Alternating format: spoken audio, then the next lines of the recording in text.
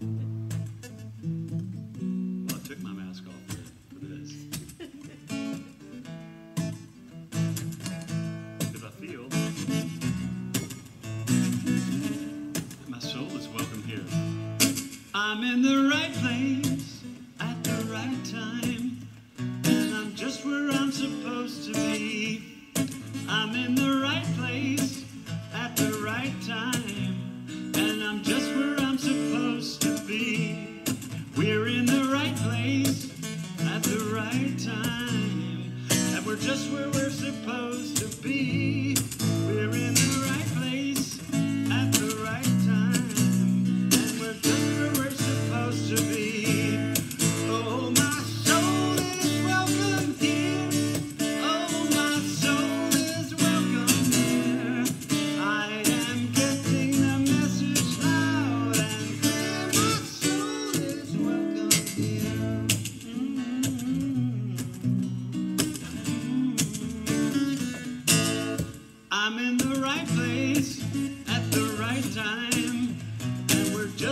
supposed to be.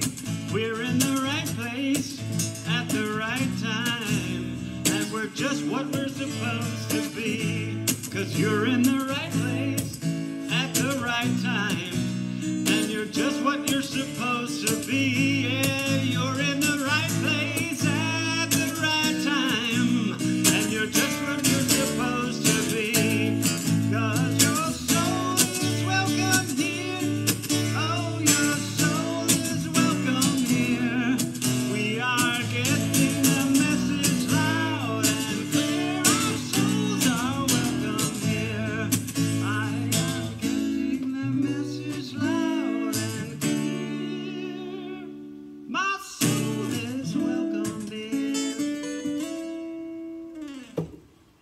Thank you, David Rosenblad. Thank uh, you. What a wonderful opening for this wonderful presence of Sunday service at Unity Church of San Marcos today. My soul is welcome here, and we're in our right place. Sometimes it's rather hard, isn't it? You know, Daniel Nahmod wrote that song, and it's a beautiful song, and it really reflects all the truth that we would like to embody sometimes, right? And experience as well. Well, you know, we're in the fifth week of a six week series about Lessons of the Turtle, uh, Living Right Side Up from Steve Goodier. And many of us are going through the experiences of COVID 19 at this time and all of the social distancing and, and our lives just really don't feel like we're living them right side up. We feel like we're upside down, which is exactly where Turtle is right now. Turtle is like upside down and, and not only exasperated, but he's like had enough.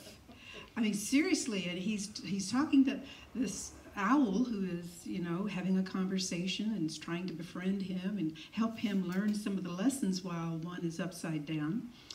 And uh, but he is just like, owl, I am literally living my life upside down. Help me to get my life right side up. Help me, please get back on my feet, right? And of course, Al was like, you know, I, I would if I could. And isn't that the way it seems sometimes? Is where we've got people in our lives, and you think, oh, if I just had, you know, or organizations or systems or whatever, if only they would, then I could get back on my feet, right? And so Owl is like, well, I can't do that. But just be patient. You know, we, ju- we just have to be patient.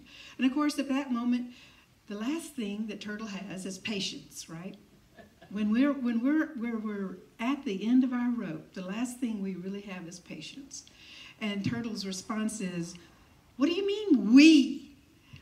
Do you see um, anyone else lying here on their back? You know?" And he's like, "What's this we business?" And that's kind of how we feel sometimes, you know. We're we're asking, we're being asked to stay in our homes. We're being asked not to connect and not to do all of our normal activities and and all of the things that normally soothe us and, and help us to deal with everyday life circumstances and things like that that we have used are not available to us, right? Okay. Well, so Turtle says, well, as long as you're still stuck on your back, you might as well learn another gift and be ready. And so he's encouraging Turtle, here, accept another gift because this is the one of the mountain. So the gift of the mountain is about goals, all right? And the author of the book, Steve Goodier, he, he says this book's not about, this, this section's not about how to set goals. There's lots of people who wrote all about that. This is about taking the action for that goal and doing and doing what it takes to make that goal come into expression.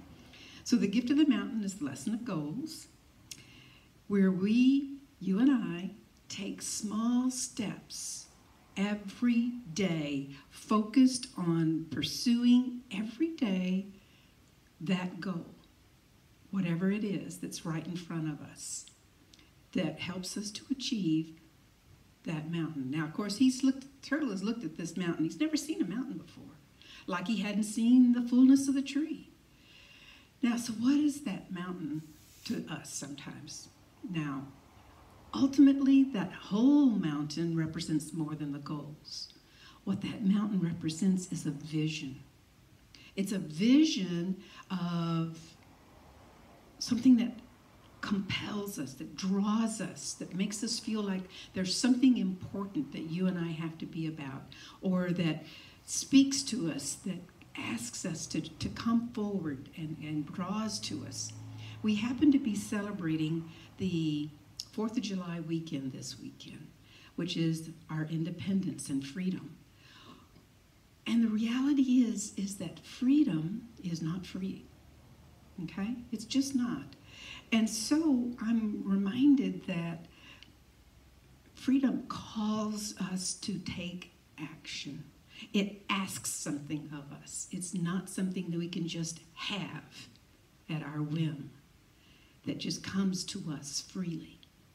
Freedom is a principle of life, but it requires something of us, as does a dream and a vision, an aspiration. It requires something of us. It requires us to take action on it. And so, taking those small steps in order to achieve that, I am reminded of what the author said. He says about goals.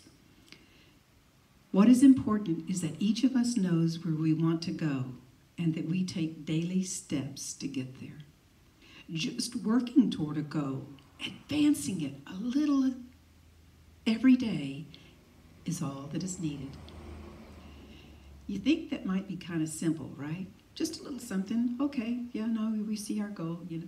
But so many times we forget, don't we? Or we just get focused on life, or we just this or that.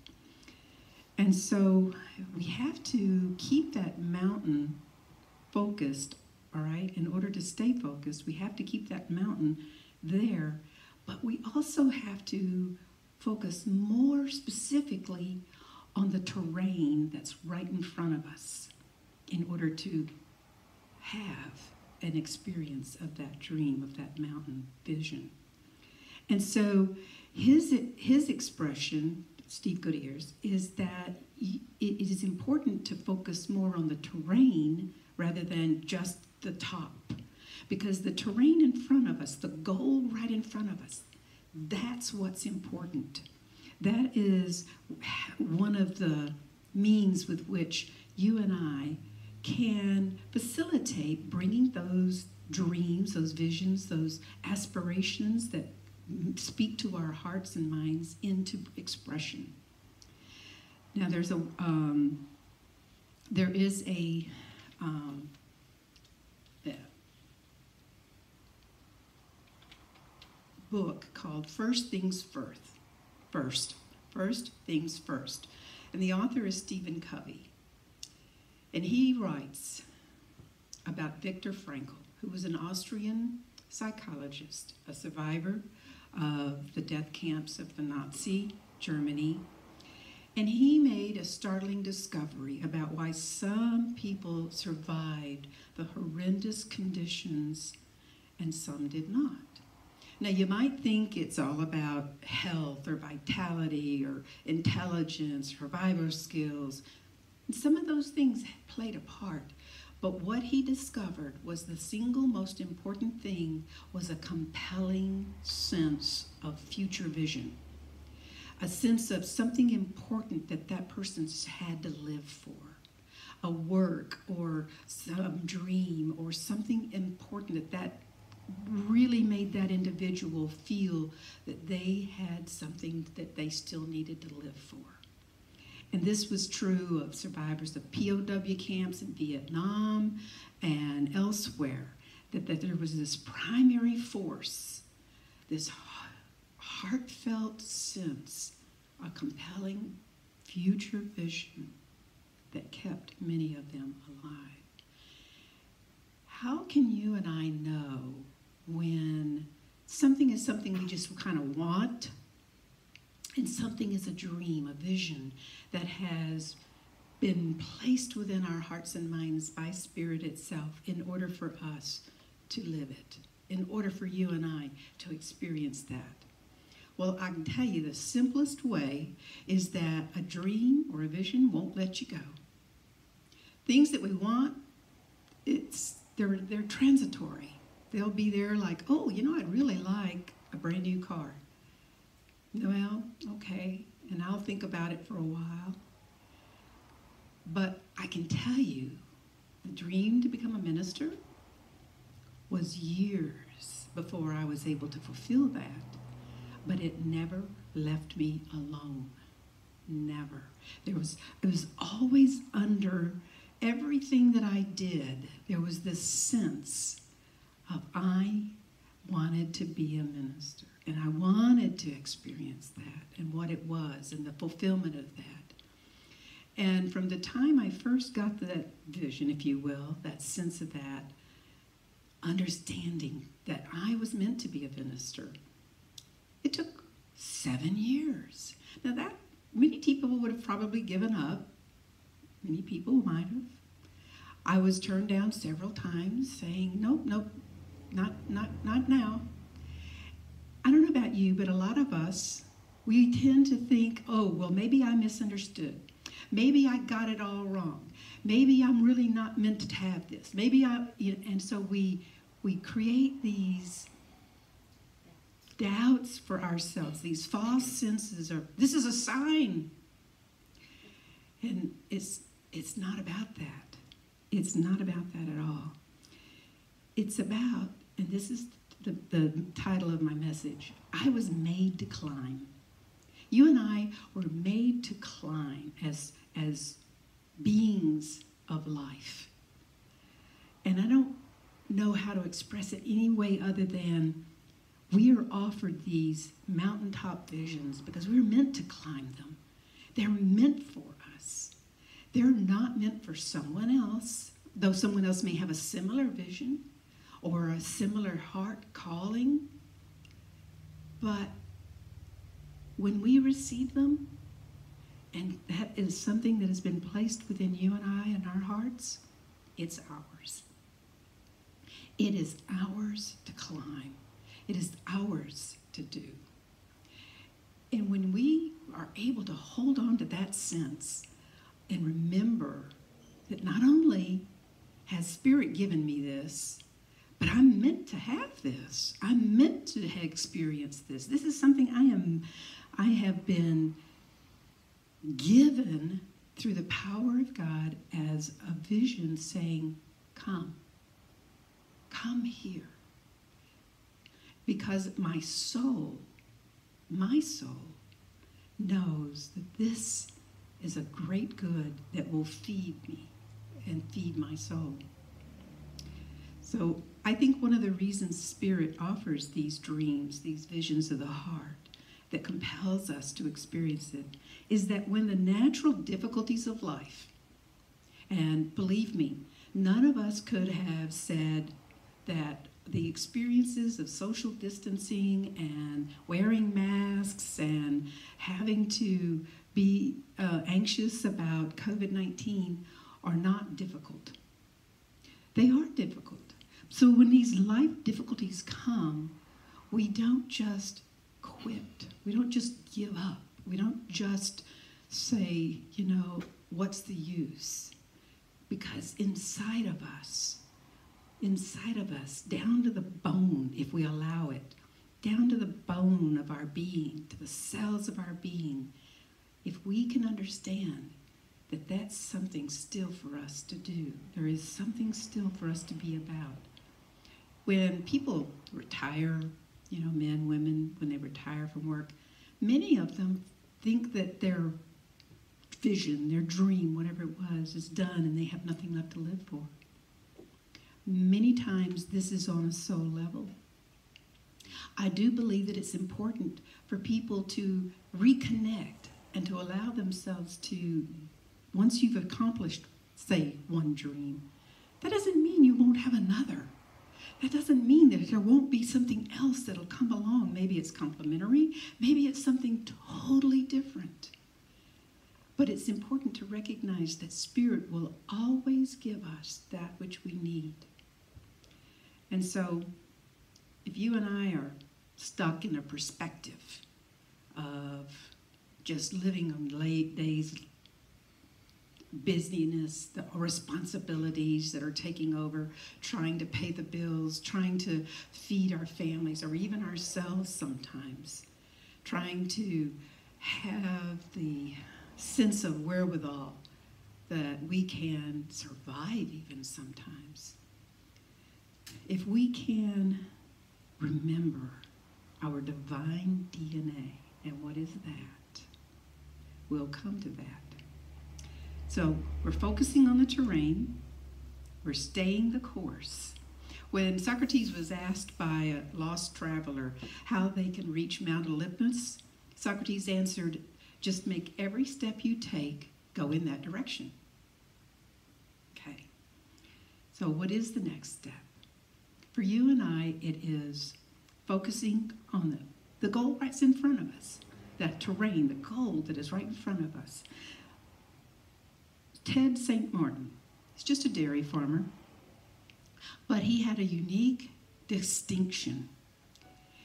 He was and had never been a member of any basketball team, doesn't even play regularly, but he held a world record of being the most accurate shooter. In one day, he made 200 consecutive baskets from all different parts of the court. And on another day, he made 927 straight shots from the foul line. His secret. He doesn't look at the basket. He's not looking at the mountain. He's focusing on the spot of the back of the rim that he has to hit in order to get that goal. He's focusing on that one spot and that's what focusing on a goal is about. Focusing on a terrain is that while we may have an intention of the, of the fulfillment of our dream, of our vision, it's that goal, it's that one thing right in front of us, the terrain right in front of us, that has to be given action, that we have to take action on. And so he doesn't look at that goal. In order to move him towards the goal, he focuses only on that spot. You and I can do the same thing. Instead of being overwhelmed by a big picture, I mean, a mountain's pretty big, right? Some of us have these lofty sense of dreams and visions of what we would like to achieve in our life. But instead of sensing that it's too big or whatever things happen in our lives that we can't do it, it's what can I do to take a step closer? What will it take and what is the very next step in order to achieve it? And one step at a time. David, would you share with us and lead us into For Us to Be, which is an original piece of his music?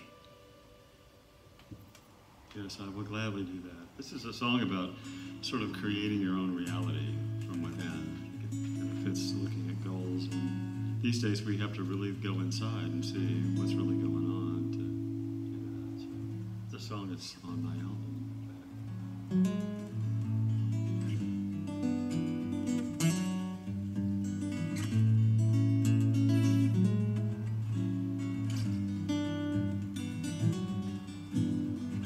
You know I'm hard to take sometimes. I'm either yelling or a mumbling mind impatient, and I can't see nor wait in line. Missing the pauses tunes me out of divine mind. For if there's beauty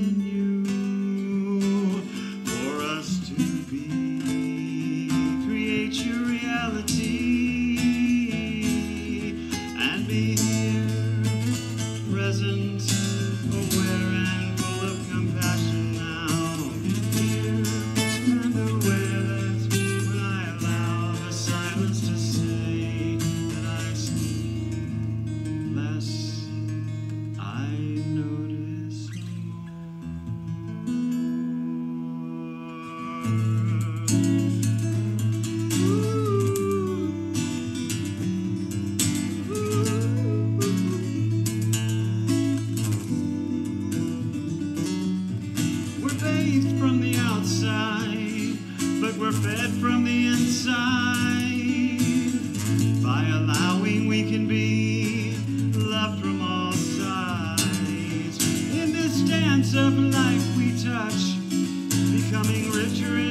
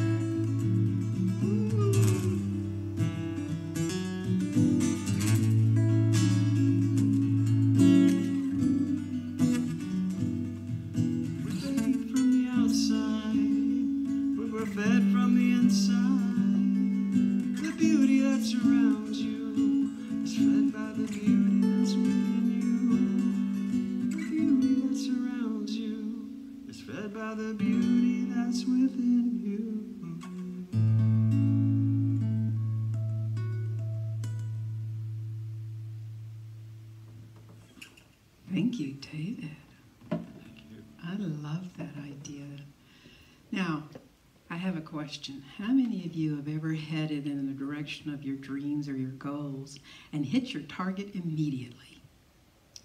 Well, most of us meet roadblocks.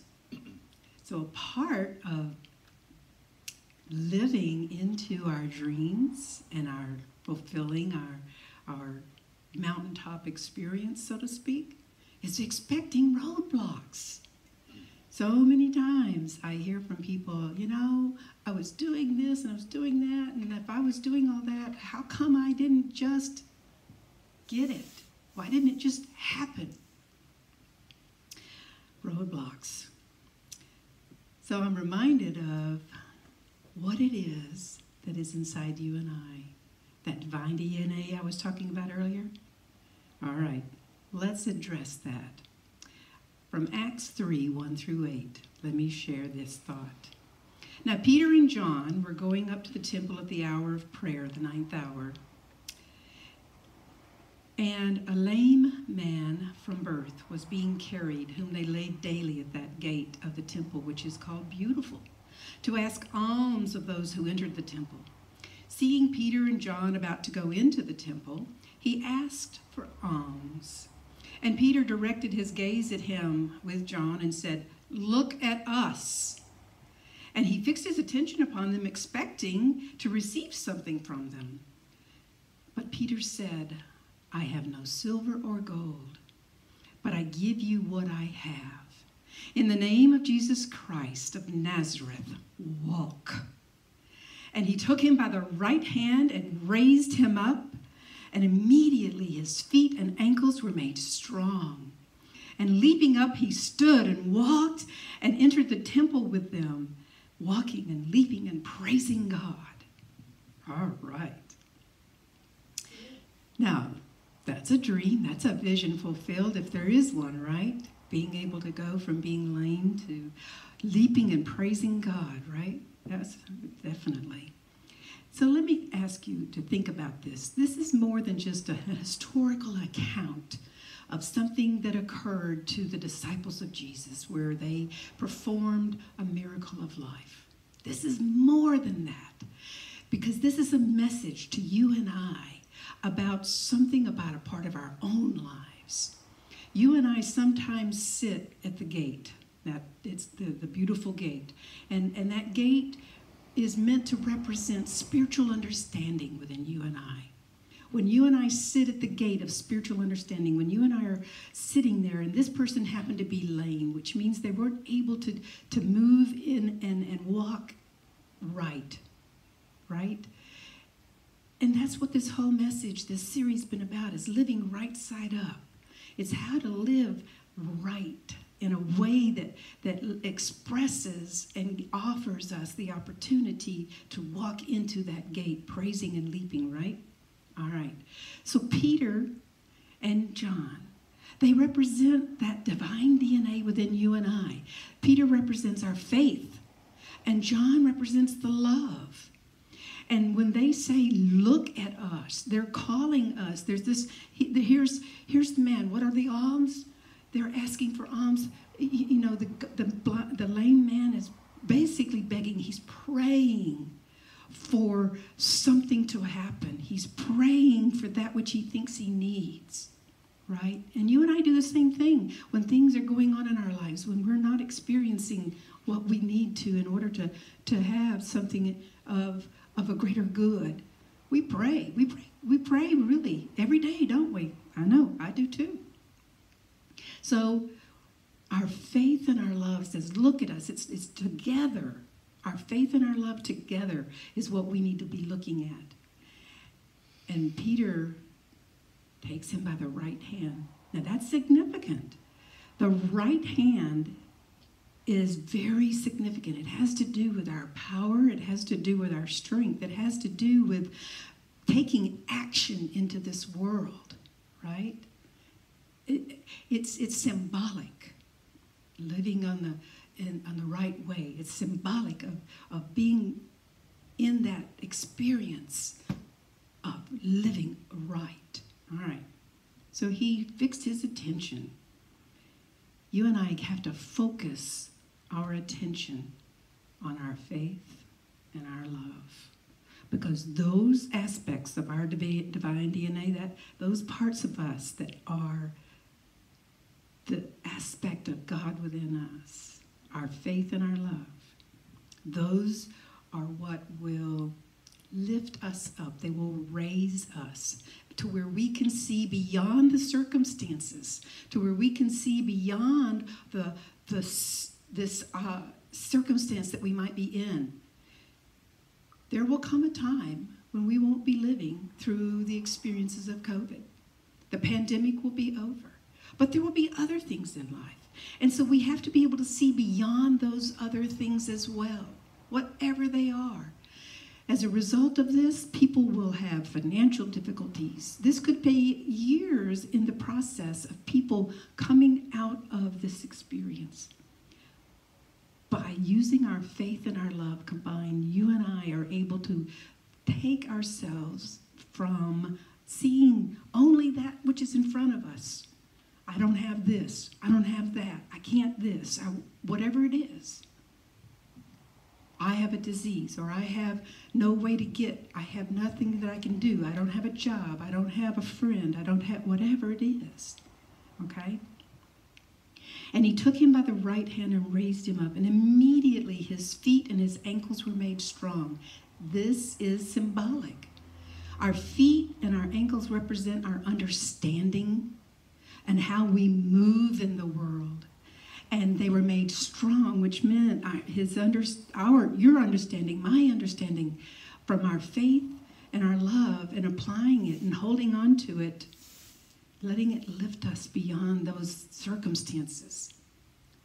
Those are the things that allow us to walk into that temple, into that beautiful gate where we are able to leap and praise God because we have achieved, we have gotten where we needed to be.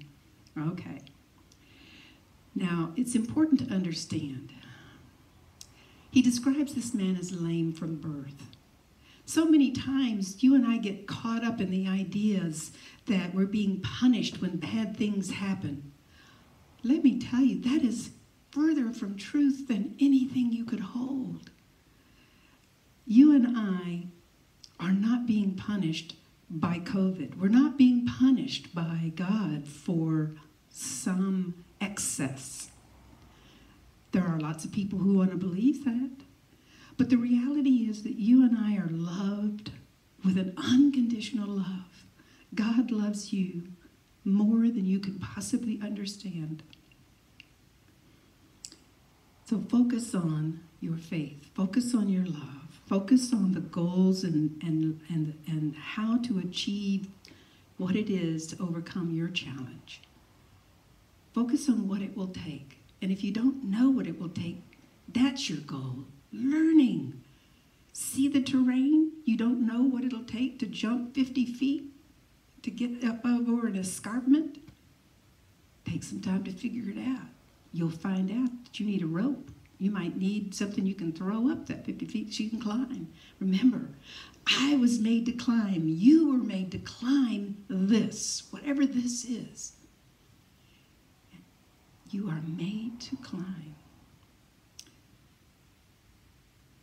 Letting go of our dreams, our hopes, we become that lame man sitting at the gate. But our faith and our love will always walk through and take us and lift us back up the very moment we turn and look at them. So it's not the time to berate yourself if you've forgotten for a moment your divine DNA. It's not the time to get down on yourself and say, okay, God is punishing me. This is the time to remember God gave me this dream. I'm meant to have it. Now, what will I do if I could not fail?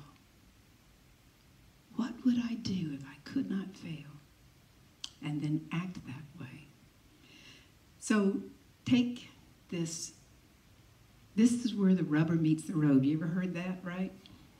It takes persistence for you and I to focus on our goals and dreams. It takes persistence. Tom, Hawk, Tom Hopkins is a motivational speaker. He says, The number of times I succeed is in direct proportion to the number of times I can fail and keep on trying. And Winston Churchill said, Success is going from failure to failure without a loss of enthusiasm. What is being said is, it's easy to get discouraged. It's not easy to move out of that. Be as consistent as you can with remembering if you have something calling you, your heart, your dream, your desire, and it's always going to be something good that, that makes life better for you and for others as well. That's another aspect of something that God has placed within us. It always benefits yourself and others. Emily Dickinson wrote more than 1,800 poems. Less than a dozen of them got published in her lifetime. And it was more than four years before the rest of them that were published were published. But that didn't stop or discourage her from following her dream of being a poet. Having the acknowledgement wasn't the purpose, it was being the poet. David, being a musician, writing this music. That is a beautiful dream, and you are living it. I would offer that there is this a beautiful verse. It says, For freedom you have been set free. Stand firm, therefore, and do not submit again to a yoke of slavery from Galatians 5 1. There are many things that will enslave us our own beliefs that we're not enough, the difficulties in life, the busyness that we can get caught up in, all of the day to day to day stuff. But make sure that some part of your day to day stuff is a focus on a goal for your dreams, your hopes, the things that Spirit is calling you to, and decide to take action. The lesson of the mountain is taking action on goals. And you and I, as we stay the course, as we as we keep our focus on the terrain rather than just the mountaintop, and we expect those roadblocks, but we are persistent. We are persistent. We will achieve remarkable because our faith and love, our faith and love are going to raise us up. Jesus went to the mountaintop all the time to go apart.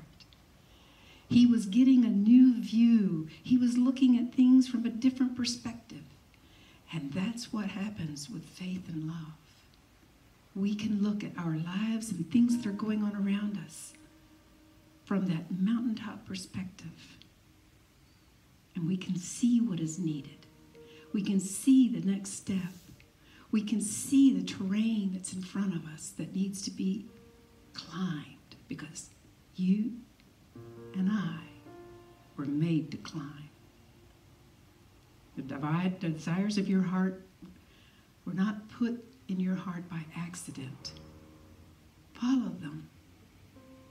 And let that knowledge settle into your bones that you are meant to have this. And then act as if you cannot fail. Without action, you and I can plan, we can wish, we can dream, we can hope all we want. But it's like having a powered, a high powered sports car sitting in the driveway waiting on a key. So join me in our next lesson, the last of our six week series about turtle. Because I gotta tell you, something's gonna happen in Turtle's life. Right. Yes, as Turtle learns about the gift of friends. So I ask you, and invite a friend to sit with you as we learn next. God bless you. He's really going to cross the road next week. This is a song about the things that are beautiful, beautiful message. This is a song kind of about uh, holding on to the Spirit and love and things. And it's called Hold On songs, right? Yes, it is. It's also on my last album. Shameless plug. No, but uh, proud plug. What was the name of your album? Aquarius Rising. Thank you. You can find it everywhere, online. Anywhere that you want to get music, all the usual places is out.